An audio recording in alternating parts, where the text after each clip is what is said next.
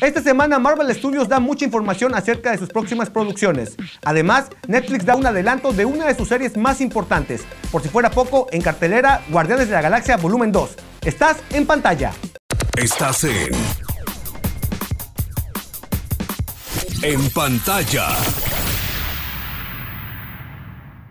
En 2014, Marvel Studios presentó Guardianes de la Galaxia, una franquicia que todo el mundo pensaba iba a ser el gran fracaso. Afortunadamente salió adelante y fue de las más queridas por los fans, volviéndose un éxito total. En 2017 regresan los Guardianes de la Galaxia con Volumen 2, una película que es dirigida por James Gunn y que vuelve a traer como protagonistas a Star-Lord, Gamora, Drax, eh, Baby Groot y Rocket Raccoon. A ellos se unen Nebula, Yondu y Mantis. El plot básico de la cinta es como un grupo de seres galácticos dorados, guiados por la malévola Ayesha, tratan de conquistar el universo.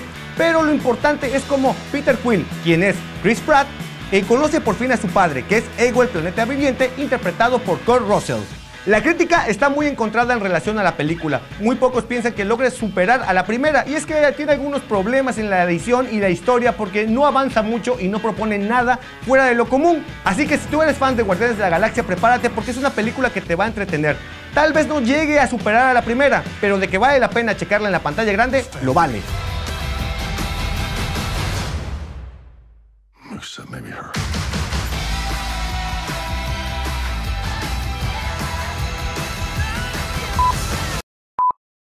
20th Century Fox presenta las películas que llegarán para el 2018 del universo mutante. Tenemos New Mutants llega en abril del 2018. Por otro lado, Deadpool 2 llega en junio y lo que es X-Men Dark Phoenix la tendremos en noviembre.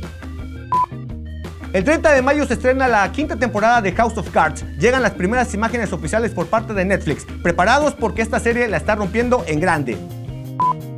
Sony presenta un nuevo clip de Resident Evil Vendetta donde vemos a Chris y Leon enfrentándose a una horda de zombies. Esta película va a llegar directamente a Blu-ray.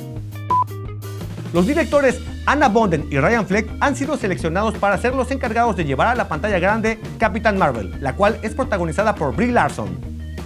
Dale like, comparte, suscríbete a nuestras redes sociales. Esto fue en pantalla. Nos vemos en la próxima.